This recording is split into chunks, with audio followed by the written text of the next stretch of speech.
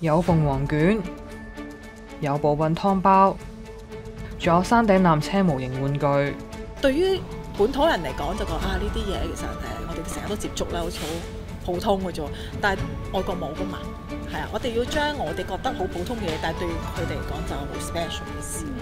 工作人員正係密鑼緊鼓，將啟德郵輪碼頭呢一個原本大概五千尺嘅免稅店區域，改設成為迷你香港手信市集，希望前嚟嘅旅客都可以買到一啲屬於香港嘅手信。其實如果講緊呢一個嘅場咧咁冷清呢，其實交通配套係其中之一啦，而側邊旁邊嘅一啲配套，例如隔離設施。咁其實會唔會嚟緊會有啲活化嘅情況呢？我覺得呢一個都需要大家同埋政府一齊去配合先做得到。即係如果話我哋係好努力咁樣做到一件事，發光發亮，但係都只係一盞燈。